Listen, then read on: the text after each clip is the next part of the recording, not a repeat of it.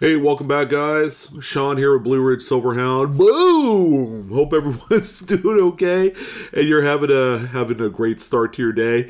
Um, so we have a little bit of breaking news. All right, um, and this kind of came out of left field. Um, the Pobjoy Mint. All right, probably a mint that 90% of you are not familiar with, but once we start talking about them, maybe you've seen a lot of their products before. Um, had announced uh, even their mid director. Man, I forgot her name already. Um, hey, give me a second.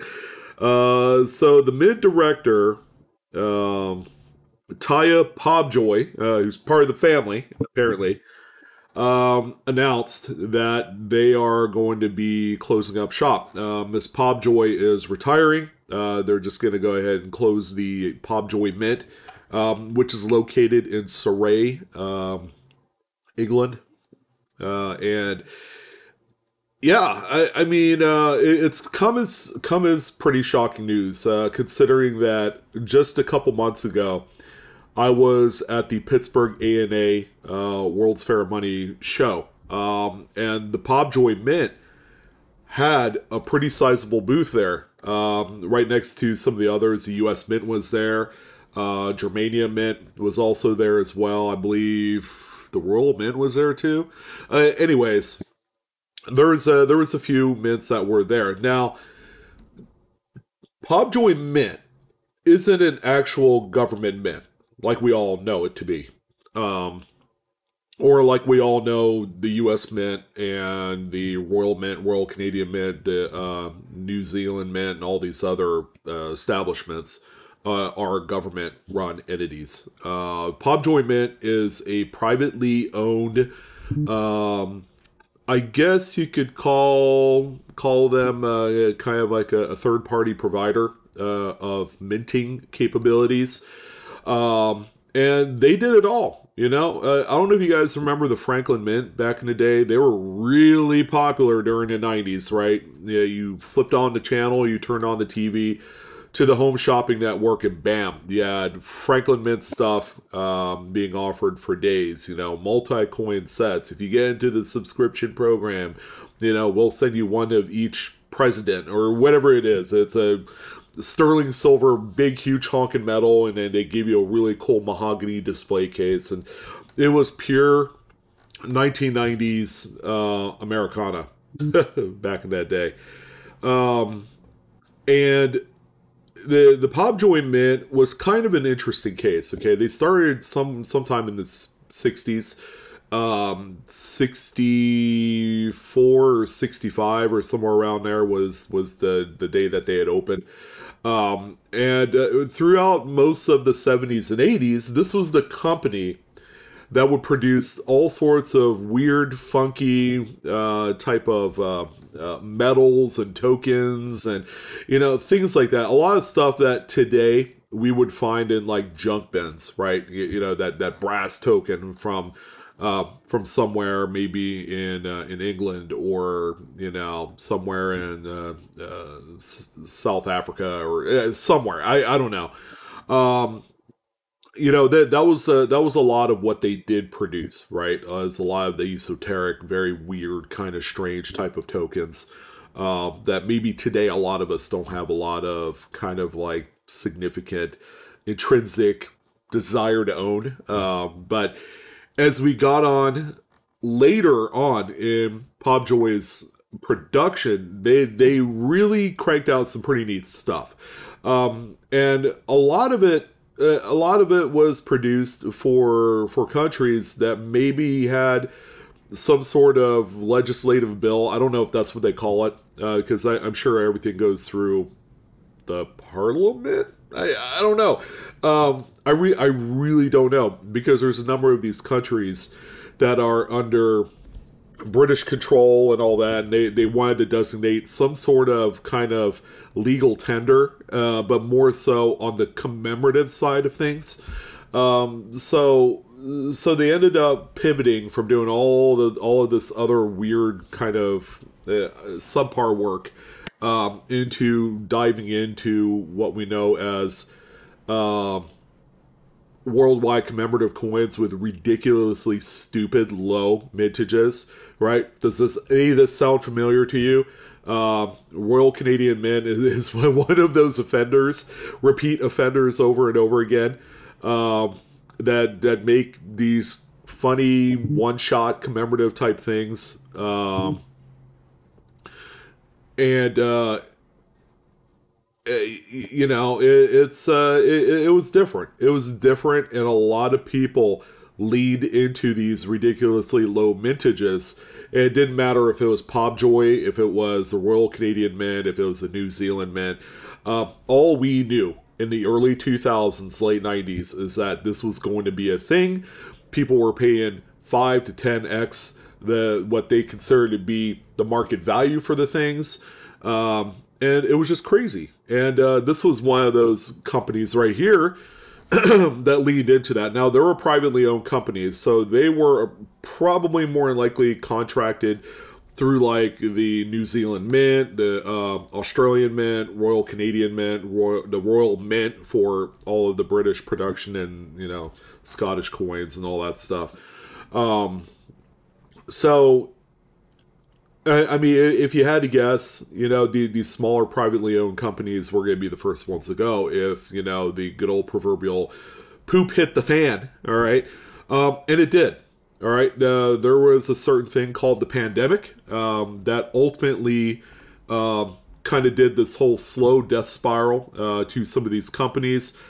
Pobjoy Mint releasing in various press statements that this was indeed the case. Um, they ended up um, trying to endure um, the uh, the Royal C- Canadian Mint or the Royal Canadian Mint, but the uh, um, I don't even know what I'm talking about. They're trying to endure the pandemic. All right, still being able to produce uh, product for the people, um, and still making their healthy profit margins. Okay, and then um, uh, it was, I guess, within the last few years, allegedly um, you know, and, this is coming from them uh, that they had lost one of their big accounts, whatever that is. Could it be the Australian mint? Could have been, you know, one of those big mint uh, facilities? Um, because certainly these larger government ran mints, they can't produce these because they're working on the regular kind of circulating coinage and then various other um, kind of like uh, the major releases, right? Uh, the Britann- Britannias, the uh, uh, Australian kangaroo coins, and various other different types of like uh, staples. So they are contracted with a company like this to do uh, some of that work. So they they probably lost one of those big government ran kind of mint um, clients through this and uh, that's that. Now you would go to their website pobjoy.com slash US, um, which they do have a uh, an office in Minnesota. All right, so they also have a little bit of a, um, a presence here stateside.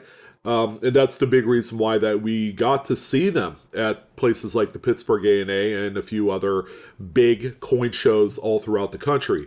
Um, so here's, you know, I mean, they don't have any official declaration on their website that they are closing. Uh, we don't know when that is. All I know is is that it's kind of business as usual. They have 2023 uh, Christmas coins with these emperor penguins on there, really cute stuff. Um, Christmas 50p, I would assume that's 50 pence uh, as far as the denomination goes. Uh, but this is a Falkland Islands. Okay, this is kind of like the weird stuff that they were producing. Now, when we click into say this this thing right here, you're going to see that there's a few different options, right? There, there's different types of coins with designs, you know, uh, all very attractive stuff, very nice stuff. Um, you know, and they operate similarly to the Royal Canadian Mint. You know, tell you if it's like almost out of stock, if it's a hot item. You click into the product, you know, gives you the rundown of, of what you're, you know, bit what you're buying here. Um, you know, the checkout process is super easy. And again, folks, I've owned a fair share of Pobjoy Mint stuff. Believe it or not, right now, currently, I don't have anything else and th- this is kind of crazy because I usually have one or two items um, in there. So this one doesn't have like a uh, a, a, specific distinguished uh, mintage on here. Uh, it says issue limit 175, which is crazy considering the actual issue price is only 60 bucks. If they only made 175, um, well, it says issue limit.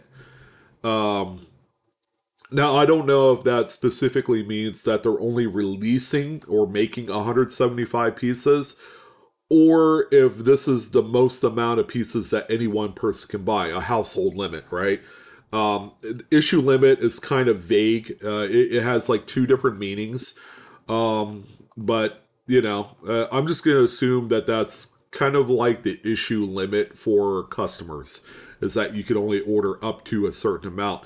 And uh, the, I'm sure that a lot of this product is made to order. Um, so if you did put an order in for, say, 175 of them, uh, they're going to mint them. All right. As long as there's no defined mintage limit on these, okay, which I don't see here. Um, but yeah, this is like an example of one of those things that the Pobjoy Mint released, and they they assigned a certain country to it: Saint Helena, um, Niue, um, Falkland Islands, Marshall Islands is another big one as well. Um, Marshall Islands, I don't think they do so much anymore, but um, this is not Pobjoy Mint, but they, you know, they probably made like big bullion pieces like this, five ounces. Um, that one I believe came from the Germania Mint, which is interesting. They're gonna probably going to end up picking up some of the business lost from Pobjoy's closing. Um, but I mean, check things out. I mean, they got some pretty neat stuff. Now, admittedly, I am going to say this. I would say the actual artistic design and quality compared to some of the other commemorative type releases, they're not quite up to snuff as as some of those other ones. The engraving work, I've seen much more crazier stuff um, that that's been released from other worldwide mints. Um, we're seeing a heavy emphasis on their website of Christmas stuff. That might actually be the last hurrah here of some of this. Um, new releases. Let's see what uh, what they have in new releases here. Um, they have uh, a five coin Falkland Islands uh, proof like base metal set. Um, and they call that non circulating legal tender, which, if you were in the Falkland Islands, you could rip apart this proof set and spend the coins because they all have some sort of face value to them, which is crazy. That's crazy that anyone would ever do that, number one. And number two, that you would rip open that set. But as you can see, it looks like they're kind of winding down on the various products. I don't see anything like super expensive. Um, unless you're buying, say, like one of the um, Egyptian god coins here in quantity, 10 pieces for $311. That's US US uh, coins. But uh, sorry, I have a airplane flying around here too, so you guys are going to hear that. But uh, that is Pobjoy Mint's website. Now, let's talk and pivot a little bit about whether or not uh, you should go crazy, go on eBay and buy some of these things. Okay. And uh, right off the bat, you're going to see that there is. I, I typed in Pobjoy Mint. There's a thousand plus results, which means there's a lot of stuff out there, ladies and gentlemen. And some of this stuff, it doesn't necessarily say Pobjoy Mint in the listing titles. All right, but it is specified within the listing. Okay, so if you come across, say, a listing like, for example, um, I saw a few of them here. Um, 2017 Britannia rolls away as PF70 reverse proof one ounce silver rare with motto. This one, I believe, is a Pobjoy issue. Um, it's not a real Britannia, but if we went and looked at the um, if we went and look at the item specifics, you'll see brand mint says Pobjoy mint. All right. Um, so the question is, should you go out there and you start buying some of this stuff? Well, I'm going to tell you this right now. All right, and this this might actually make your decision a lot easier. Some of these coins are actually kind of cool. Um, I, I actually like the Britannia rules the waves. That's the first time I've seen that before with that reverse proof. I think it's very attractive. This uh, uh, two two ta- two tank humans, hu- Hamoons. Wow, nailed it. Uh, Death Mask Pyramid, which is one ounce of silver. That kind of looks neat too. Um, some of it's pretty clean. They, they actually uh, did a Adolph Weinman's uh, last Walking Liberty one ouncer. Not digging that at all. It's not a good look on there. Uh, these are neat. The Sierra Leone, uh, which is another country that they assigned legal tender to. Uh, mintage of 500. Gold gilt, one ounce silver. That looks pretty neat with its colorized. I'm not a big colorized fan, but you know. But as you can see, the designs on a lot of these were relatively basic. You know, they, they weren't going to impress you for the most part. Um, toward the tail end, and I could I could see this now. Uh, toward the tail end, before they they made their announcement here in the last day or two that they were closing up their mint, I'm looking at stuff that they had produced within the last few years and understand that they, it looks like they were beginning to kind of wind down based off of the complexity of some of these uh, designs that they they have for the last few years or lack thereof of uh, complexity. Uh, but as you can see, guys, everything is still very expensive. There was already a lot baked into these prices well before the announcement that Pobjoy was closing. All right, so there the the coins were all naturally expensive. Uh, this one's pretty cool too. Um, Indian Ocean Territory, right? I mean, oh man, who who would think that there would be a sort of like a side uh, type of coinage, uh, you know, for for the Indian Ocean territories, which probably makes up uh, about maybe a thousand different island change chains. Uh, Pobjoy Mint, yeah, uh, two ounce. Uh, this one's really cool. This iridescent antique high relief siren you know, with box and no certificate of authenticity. Shoot, I might consider buying one of those.